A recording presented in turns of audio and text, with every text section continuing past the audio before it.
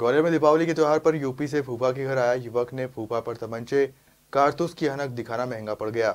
उसने हथियार के साथ अपना वीडियो बनाकर सोशल मीडिया पर पोस्ट किया तो उसकी हरकत पुलिस की नज़र में आ गई। दरअसल उत्तर प्रदेश जालौन, तरसौर का रहने वाला अखंड बहादुर सिंह तोमर दीपावली पर ग्वालियर महाराजपुरा थाना क्षेत्र के आदित्यपुरम कॉलोनी में रहने वाले अपने फूफा जंडेल सिंह तोमर के यहाँ आया था।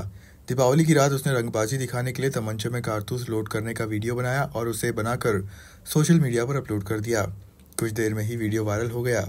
वीडियो पुलिस के सामने आने पर रंगबाजी दिखाने वालों को तलाशा तो पता चला कि रील आदित्यपुरम कॉलोनी में अखंड बहादुर सिंह ने बनाई है। लेकिन वीडियो वायरल होने की भनक लगने पर अखंड प्रताप सिंह भी फरार हो गया। पुलिस ने आरोपी अखंड बहादुर सिंह के खिलाफ मामला दर्ज कर एक टीम उत्तर प्रदेश जालौन रवाना की है।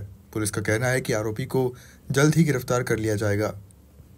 एक महाराजपुरा थाना में जो है एक वीडियो वायरल के संबंध में अपराध पंजीबद्ध किया गया। एक युवक जो है जिसकी पहचान अखंड प्रताप सिंह निवासी जालौन के रूप में हुई है।